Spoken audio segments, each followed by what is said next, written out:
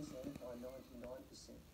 But in that same time, the state contribution to their own hospital system has only gone up 55%. So what I say to Premier Palaszczuk is uh, get off your uh, high horse and match the federal increase in funding, let alone the whole vaccine program, which is being federally funded, uh, the PPE, extra PPE, the extra ventilators that they've sourced,